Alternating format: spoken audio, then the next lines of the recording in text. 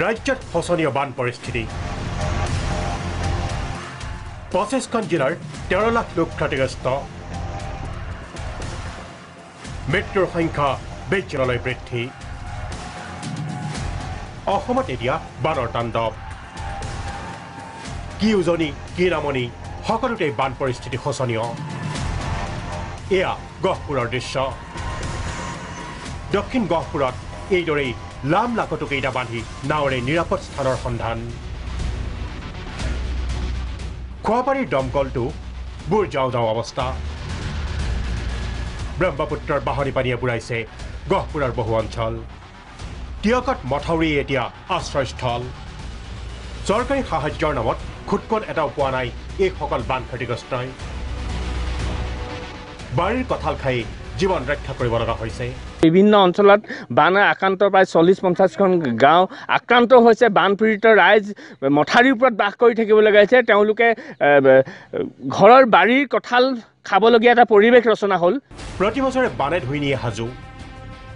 বৰলীয়া নৈ বাহনী পানীয়ে প্লাবিত কৰিছে হাজোৰ অঞ্চল গৰু আৰু মানুহৰ সহ অৱস্থান ভূৰত উঠি জীৱন ৰক্ষাৰ চেষ্টা বাহনী পানীৰ মাজত। প্লাবিত কাজিৰঙা ৰাষ্ট্ৰীয় উদ্যানো বানৰ পৰা বাদ পৰা নাই কাজিৰঙাও। প্লাবিত হৈছে ৰাষ্ট্ৰীয় উদ্যানখনো। এইদৰেই ওখ ঠাই বিচাৰিছে পহুকেইটাই পানীত কক বগাই আছে এইদৰেই বন্যপ্ৰাণী কাজিৰঙা ৰাষ্ট্ৰীয় উদ্যানত। উদ্যানখনৰ ভিতৰত পানী ক্ৰমাৎ বাঢ়িয়ে আছে। নহয় আৰু পানী হ'লেহে তেওঁলোক ওলাব ওলাব নহ'লে ওলাবলগীয়া নহয় হাইলেণ্ডো আছে সেইমতে। কিছুমান সৰু সৰু পশু চহু এইকেইটা দুই এটা পাৰ হৈছে। অন্য জন্তু তেনেকৈ পাৰ। গোলাঘাট জিলাৰ নুমলীগড়ৰো বিছখন গাঁও পানীৰ তলত।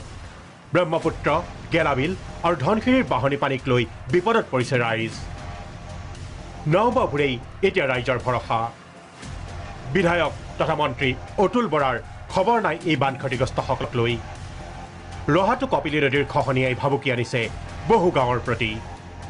ৰাইজে নিজ প্ৰচেষ্টাৰে বাঁহ কাটি বালিৰ বস্তা দি খহনীয়া ৰোধৰ চেষ্টা চলাইছে। আমগুৰি সমষ্টিৰ দিশমুখত ব্ৰহ্মপুত্ৰৰ বান আৰু খহনীয়াই ৰাইজক বাৰুকৈ জ্বলাইছে। বিধায়ক প্ৰদীপ হাজৰিকাই ক্ষতিগ্ৰস্ত লোকসকলৰ মাজত সাহায্য সামগ্ৰী বিতৰণ কৰে। ধেমাজিতো বান আৰু খহনীয়াই তাণ্ডৱ ৰূপ ধৰিছে।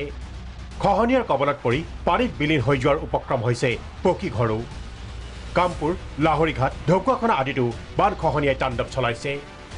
এতিয়া মুঠতে ৰাজ্যত কৰোণা আৰু বান দুয়োফালৰ পৰা মৰিছে ৰাইজ ব্যুৰ' ৰিপৰ্ট প্ৰাগ নিউজ